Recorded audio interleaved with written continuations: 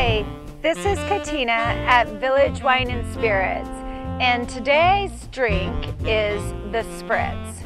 Uh, Spritz can be made in several different fashions. We're going to make it the way that I like the most, which is a little unorthodox. Aperitivos are generally made up of different fruits, herbs, and vegetables and the main purpose behind them is to help stimulate the appetite and to aid in digestion.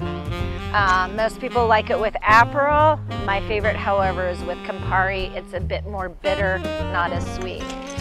So, just take and put some ice in your wine glass.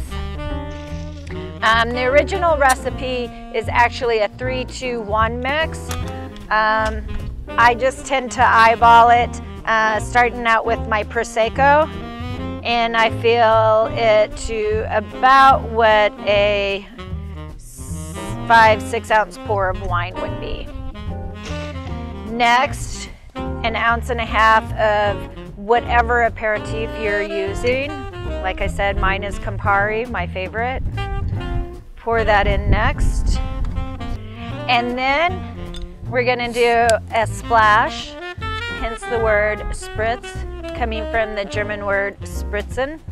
And I split the difference of what I have left in my glass. Last but not least, because it is bitter, I am gonna garnish it with a lemon wedge. If you're doing sweet, which is the Aperol, you would finish with an orange. And there you have a spritz. Enjoy.